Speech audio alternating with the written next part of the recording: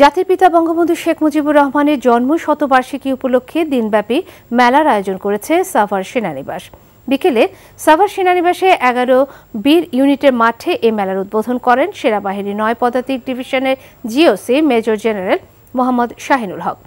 মেলায় বঙ্গবন্ধু স্মৃতি বিজড়িত ছবি প্রদর্শনের পাশাপাশি বঙ্গবন্ধুকে নিয়ে বিভিন্ন লেখা ও আলোকচিত্র প্রদর্শন ও সাংস্কৃতিক অনুষ্ঠানের আয়োজন করা হয়।